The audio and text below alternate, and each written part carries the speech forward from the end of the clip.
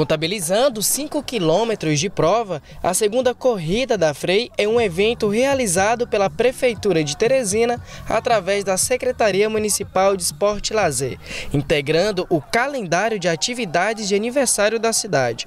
Para os campeões gerais, uma premiação de 8 mil reais, divididos em categorias. A ideia é que a partir de agora, todo ano no aniversário, fazendo parte do aniversário da cidade, a gente faça essa corrida em homenagem ao Padre Florencio. Né? A premiação é 8 mil e nós tivemos um recorde de inscrição. A segunda corrida da Frei homenageou o Padre Florencio.